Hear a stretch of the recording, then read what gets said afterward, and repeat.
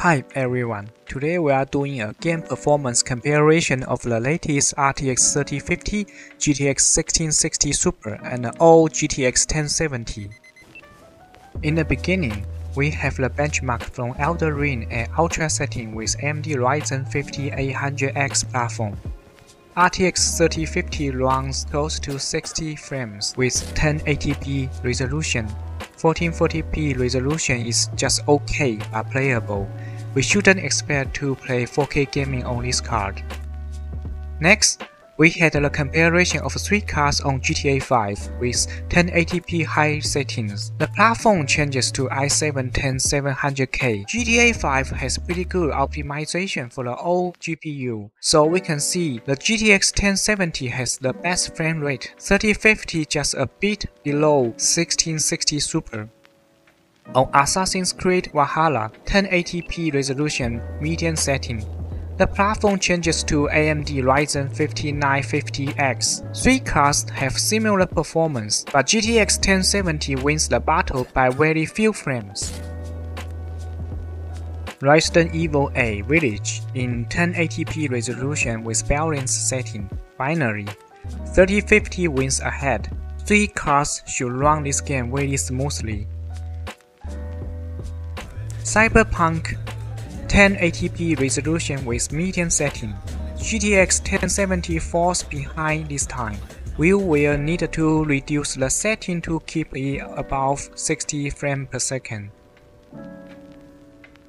Rainbow Six Extraction 1080p resolution with ultra setting.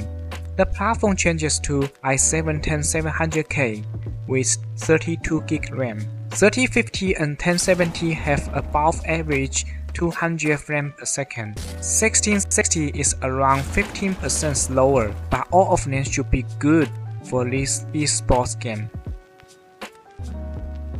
Next, we have the result from the classic Red Redemption 2 with 1080p resolution, high setting, the latest RTX 3050 wins the battle. GTX 1070 is still doing pretty good in this game, you can slightly reduce the graphic quality to keep this game above 60 frames per second. Okay, I think three cards can be satisfied in all modern games with 1080p resolution. Will they still be good enough on 1440p 2K resolution gaming? Let's see some test results. Red Redemption 2 1440p resolution with high setting. Three cards are failing to run above 60 FPS, but are still playable. Players should lower the graphic quality to get a better game experience. Next, Rainbow Six Extraction again, but with 1440p resolution. 1660 Super still falling behind by 13%.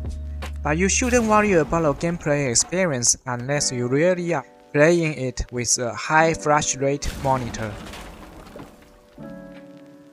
Assassin's Creed Valhalla 1440p medium setting at the Ryzen 5950X platform.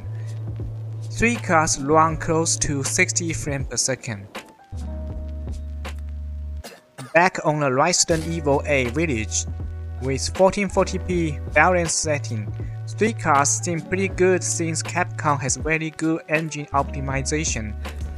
Cyberpunk 1440p with medium setting, all cars are unplayable. In conclusion, three cars should be still good in the 1440p modern title games with low to medium settings. Could 12th gen Intel CPU boost the gaming performance? Here is a comparison between i7-10700K and the latest i7-12700KF with the same RTX 3050. The performance increase very subtle.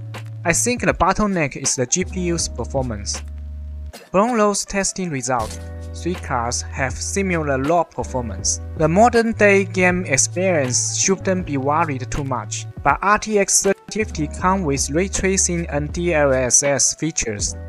I can say ray tracing isn't very efficient runs on 3050, but once turn the DLSS on, it boosts the frame rate a lot.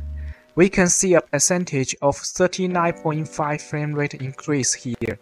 If you have 1660 Super and 1070, they are still pretty good. If you can get a 3050 with MSRP, then I'm happy for you. All the testing results are from Jansn Benchmarks, Gamers Nexus, and Hardware Unbox. Thank you for watching and see you in the next video.